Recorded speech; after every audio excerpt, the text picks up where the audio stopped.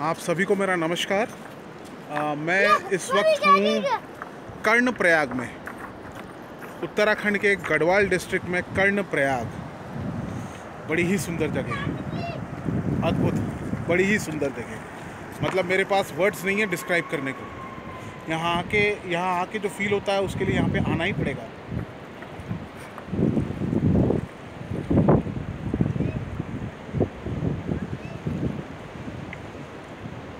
Karna Prayag